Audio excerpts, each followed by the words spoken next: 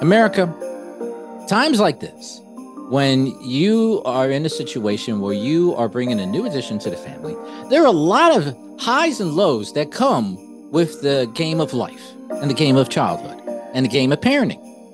So now, our correspondent, Mr. GPS, is going to give you some knowledge, the KRS One style knowledge of parenting, the do's and don'ts of parenting by Mr. GPS. So, please, sir, take it away. You are the master of this. You got to start putting up some money.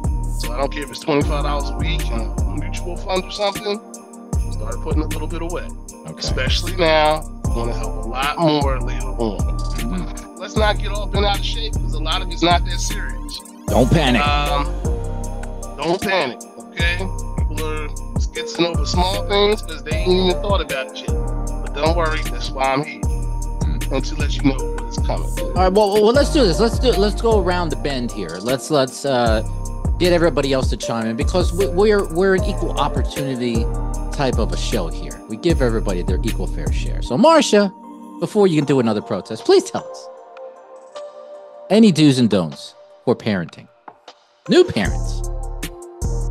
New parents don't overindulge. I see parents now. I did this when I had my kids, obviously. You just buy a whole bunch of stuff that you really don't need. That Mm. baby's going to be sleeping and pooping. All you need is a sleeper, some wipes, and um, Pampers. Don't overbuy because you buy all this crap and they're never going to fit into it. So instead of uh, buying stuff, put that money away in a mutual fund or IRA or five Nice. five twenty nine, um, because they're going to need that money. You need the money most when they get older. Mhm. Right now. Um, number two, don't be letting everybody kiss on your goddamn on baby. Keep people at bay. People like don't let people touch you. you. You can take hold it up. Look, this is my baby, but that's your baby, and you need to protect it. And you don't. No one needs to be kissing on it and holding it without- with their outside clothes on. I know this sound old, but you got to protect your baby because there's so many things going around. Everybody's sick. Yeah. And you don't want to. You don't want the baby being sick. You know, No. that's just too much because then you're up all night talking about some why my baby's sick, but you don't let Aunt Mimi gets all over the baby. So just just make sure Mhm. spend this time bonding with your baby. The mother people be all right.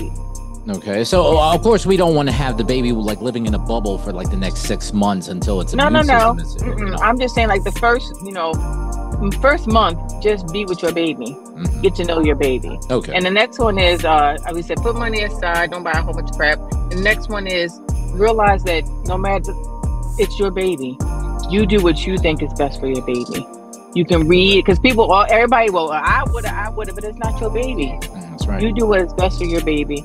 You know, don't do anything to harm the baby, but it's a trial. Don't don't beat yourself up if you don't think you're doing something right because you know what, that baby's gonna love you and you're gonna love your baby. So just do what you think is best for your child. Okay, there you go. I like that. Now, Mr. Cortez, your turn. Since you are the most, well, now you used to be the most recent Papa, but now Mr. GPS is now the most recent Papa and the first grandpa here.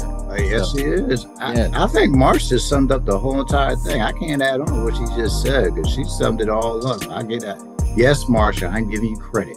Wow, look at that. She's happy. Look at that. But, I- but still, throw in some advice, Cortez. Oh, People want to I know. would, I agree with her with the financial aspect of it. Is start putting away, start saving, start saving for for your baby because, yeah, I mean, I realize it still happens, man. Like I still, you know, my my my uh, mother-in-law, she comes over, buys my daughter all types of stuff. Doesn't she live there? She really lives there, doesn't she? So. Just about, man.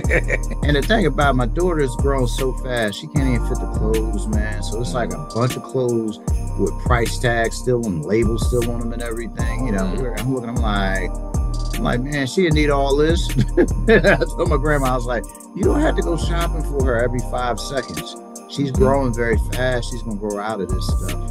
Yeah, that's fine. Hey, I would say just you know, have her buy more of the Pampers and the food formulas and stuff like that. Yeah, go buy buy a truckload of Similac and just leave it right on the garage. You know, we're cool. Yeah, that's what that's what I would tell a lot of young parents to do. Just stock up on diapers. Mhm. Um, it depends. Some like you had a choice. You could breastfeed or do the Similacs.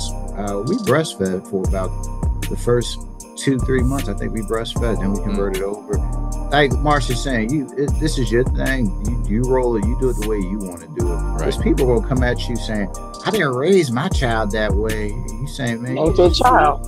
yeah, you shut the fuck up and sit in the corner and let me raise my child." Sometimes you get like that because people just run it up on you like, like if you take the take the fur of a of a cat's paw, and rub it on a baby's forehead, it would clear the fever up type of shit. I'm like, Uh, like oh, yeah, I, no. that sounds actually sounds oddly familiar. I've heard of that before. God, that's, onions in the socks and um, yeah, something like that.